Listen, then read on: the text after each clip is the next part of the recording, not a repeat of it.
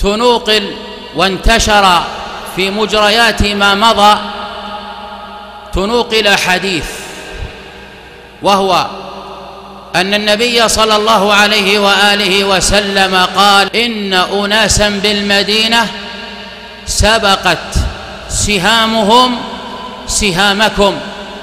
قالوا كيف يا رسول الله؟ قال بدعائهم.